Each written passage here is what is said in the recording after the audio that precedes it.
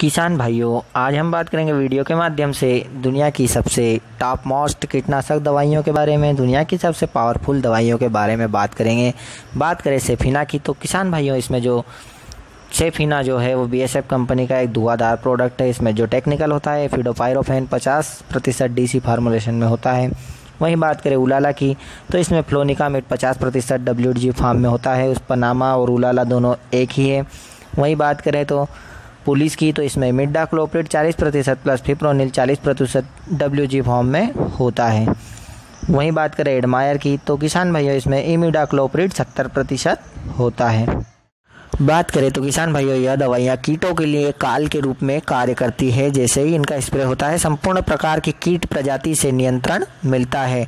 बस हमें सिर्फ़ इल्लियों जैसी समस्या से नियंत्रण नहीं मिलता, बाकी जैसे भी समस्त प्रकार के कीट हैं वह इन दवाइयों के संपर्क में आते ही उनका जो सिस्टम वो सब ब्लॉक हो जाता है, खाना पीना बंद कर देते हैं एवं उनकी मृत्यु हो जाती है लगभग चार से छः घंटे के भीतर ही। बस इनका इस्तेमाल करते समय एक सावधानी रखें वर्षा का कि इनका इस्तेमाल करने के तीन से चार घंटे बाद वर्षा हो तो कोई समस्या नहीं है। अगर लगे कि वर्षा होने वाली है तो इनका इस्तेमाल ना करें क्योंकि यह महँगी दवाइयाँ हैं। अगर इनका इस्तेमाल करते हैं, वर्षा हो जाती है तो इनके रिज़ल्ट नहीं प्राप्त हो पाते हैं।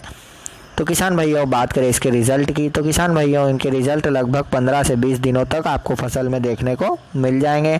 यह सभी प्रकार के कीट, हरा मच्छर, सफ़ेद मच्छर, थ्रिप्स, मिलीबग, वाइट ग्रब तक, जैसे पुलिस है, वो वाइट ग्रब को भी कवर कर लेता है। तो किसान भाइयों यह थी इन दवाइयों की संपूर्ण जानकारी। इनका इस्तेमाल आप किसी भी फ़सल में कर सकते हैं।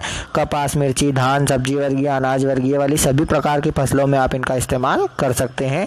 इनकी कीमतों में भी ज़्यादा अंतर नहीं है, लगभग बराबर खर्चे ही होता है। ज़्यादा जानकारी के लिए सब्सक्राइब करें अपना कृषि संसार को तथा बेलाइकन